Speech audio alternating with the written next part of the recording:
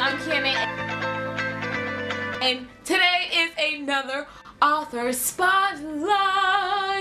So this author spotlight, if you're new to the channel, because I haven't, this is one of my fourth video, author spotlight video, so I will link a video playlist of the rest of them up in this corner over here so you can check them all out. So check it out and if you don't know what this is, um, this basically spotlights um, one of my favorite authors or authors that I have new releases, they have new books coming out, and just other deals on their books and just amazing things about them. This week I am so excited. One of my favorite authors, contemporary young adult authors, which is Katie McGarry, and I love her.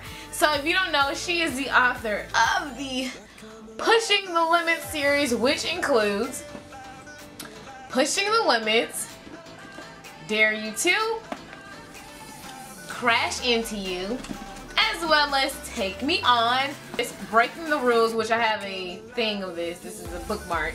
Her new series, which is Nowhere But Here, which is the first book of her Thunder Road series. So Nowhere But Here is basically like, it's like a motorcycle game, guys with two unlikely people falling in love. Like, can we just, emotional characters, just, I can't even, because I have the book on ebook, so now because I'm going to be talking about is the, la the second book, I'm so excited, the second book is, that is, the reason why I'm doing this video is because her new second book of the Thunder Road series is Walk the Edge. It comes out today, the 29th.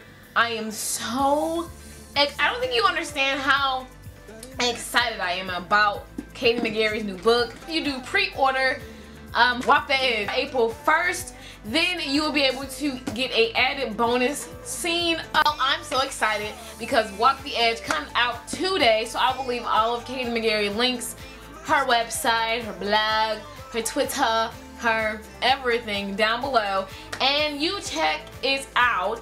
And let me know if you are a fan of her books. Have you read any of her series? If you haven't read the pushing the limit series um, have you read her new series thunder road series? So just let me know down in the comments because i am totally totally so ready for this book. It's unreal. So i'll see you guys in my next author spotlight. Bye